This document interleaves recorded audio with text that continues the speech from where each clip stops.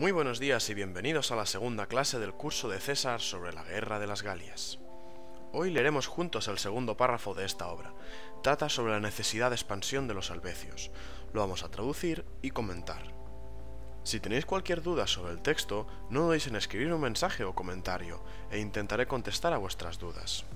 Recordad que en la página del compendio de fenómenos sintácticos tenéis explicado la mayoría de los fenómenos que aparecen en el texto. Empecemos pues con la lectura atenta del original latino y sigamos con la lectura de la traducción. Apud Helvetios longe nobilissimus fuit et orgetorix. Entre los helvecios fue de lejos el más noble y más adinerado Orgetorix. Apud Helvetios fuit, entre los helvecios fue, longe, de lejos, nobilissimus et ditissimus, el más noble y más adinerado, Orgetorix, Orgetorix. Fijaos en el adverbio longe traducido por de lejos, que intensifica los superlativos. Y el texto sigue. Is Marco Mesala, Marco Pisone consulibus, regne copiditate inductus, conjuratione nobilitatis fecit.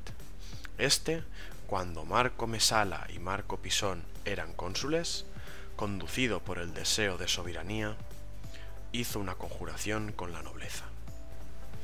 Is, este, inductus cupiditati regni, inducido por el deseo de soberanía, de reino, fecit conjurationem nobilitatis, hizo una conjuración con la nobleza. Marco Mesala, Marco Pisone, consulibus, cuando Marco Mesala y Marco Pisón eran cónsules. Sintácticamente hemos de destacar que este Marco Mesala Marco Pisone consulibus es un ablativo absoluto, una expresión latina que con ablativos venía a indicar las circunstancias en que se desarrollaba la acción principal.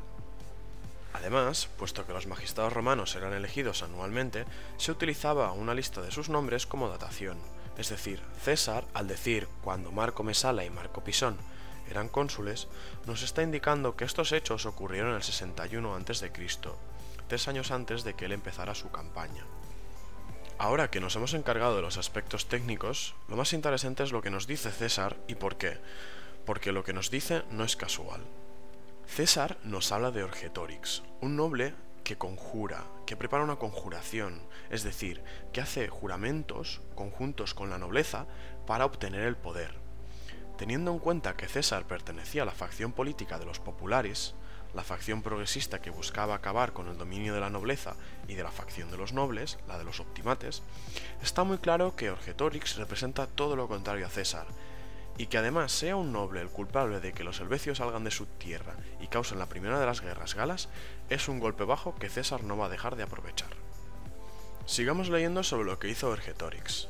Et civitati persuasit, ut definibus suis cum omnibus copiis exirent y persuadió al Estado helvecio de que salieran de su territorio con todas las tropas. Civitati persuasit persuadió al Estado, ut exirent de que salieran de finibus suis de su territorio, cum omnibus copis con todas las tropas. Sintácticamente, fijaos que el verbo persuasit se construye con un dativo, civitati, y con una oración sustantiva de ut. Per facile esse, cum virtute omnibus praestaren, totius Gallia e imperio potiri, que era muy fácil, puesto que superaban a todos en virtud, hacerse con el imperio de la Galia entera. Esto que acabamos de leer es la razón a la que Orgetorix alegó para persuadir al pueblo helvecio de que debían salir de su pueblo, y de que en consecuencia debían hacerle líder a él. Si os fijáis, yo en la traducción he añadido en cursiva un diciendo, diciendo que era muy fácil, tal, tal. Pero en el original latino esto no está. Resulta que en latín se podía utilizar una oración con verbo en infinitivo y sujeto en acusativo para indicar las palabras que se emplearon para el desarrollo de otra acción, sin necesidad de un verbo que haga de puente. En este caso la acción sería persuadit, persuadió. Es decir, con la oración de ut tenemos de qué persuadió Orgetoris a los helvecios, y ahora se han introducido los hechos a los que se aludió con una oración con verbo en infinitivo. Además, en cum virtuti omnibus praestaren totius Gallia imperio potiri, tenemos una construcción de infinitivo que hace de sujeto del verbo ese. Y esta construcción está formada por distintos elementos.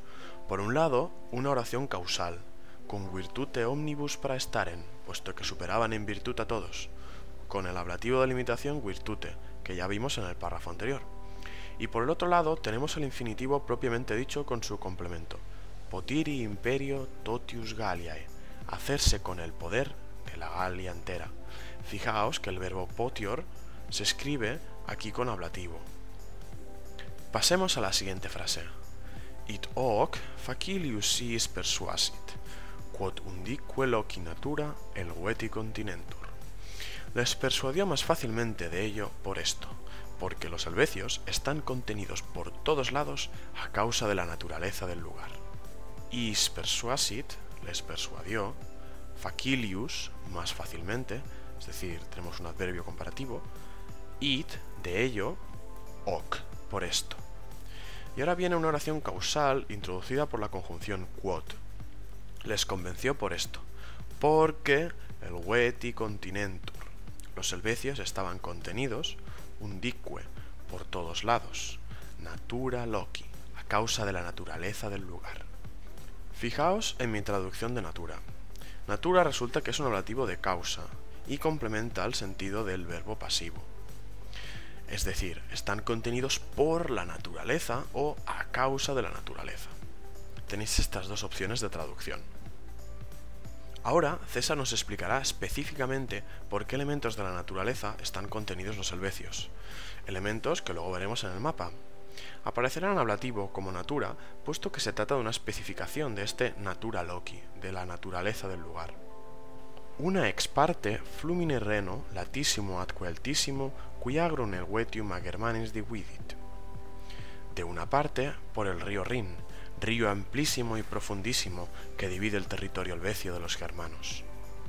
Una ex parte, de una parte, flumine reno, por el río Rin, latissimo atque altísimo, amplísimo y profundísimo, qui dividit, que divide, agrum helvetium, el territorio de los helvecios, a Germanis, de los germanos.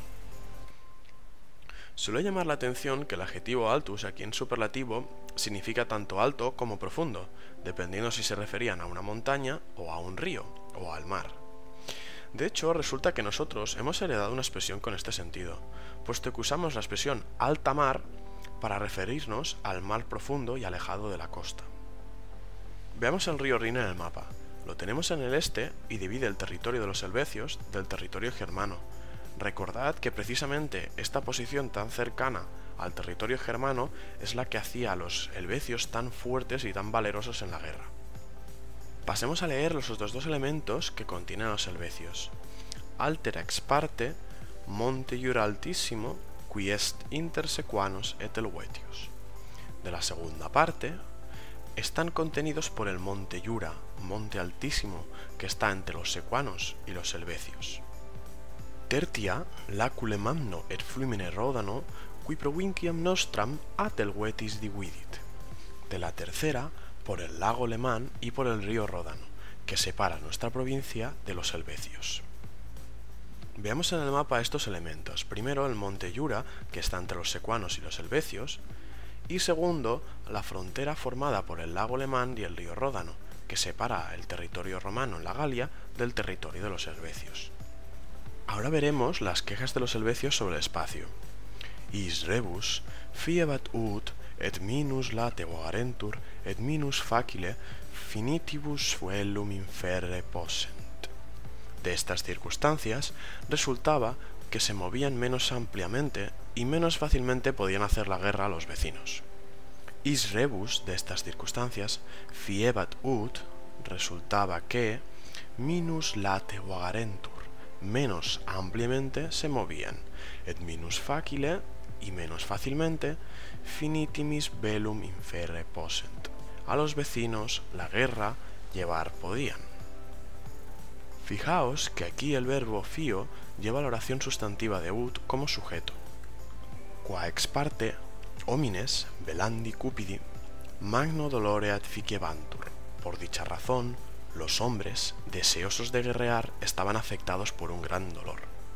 Qua ex parte, por dicha razón, homines cupidi velandi, los hombres deseosos de guerrear, magno dolore adficebantur, estaban afectados por un gran dolor. Sintácticamente nos encontramos con el relativo de coordinación qua, el gerundio velandi y el ablativo de causa magno dolore, que completa el significado del verbo pasivo adficebantur. Pasemos a la última frase. Por multitudine autem hominum et pro gloria belli atque fortitudines angusto se fines avere britabantur. En proporción con la multitud de hombres y su fama en la guerra y de su fuerza, consideraban que ellos tenían unas fronteras estrechas.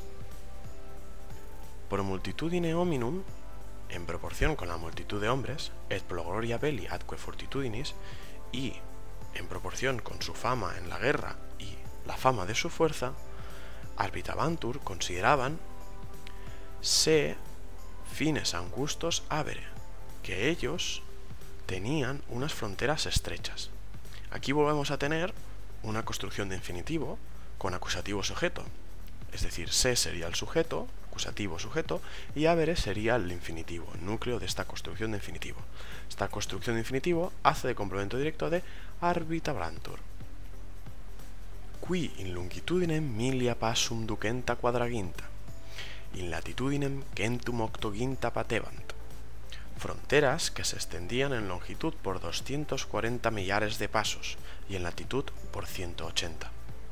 Sintácticamente, aquí nos encontramos con un acusativo de extensión, que indica la distancia por la que se extiende el territorio, milia ducenta quadraginta, por 240 millares. Y luego tenemos el genitivo partitivo, pasum, que especifica de qué son los millares, millares de pasos.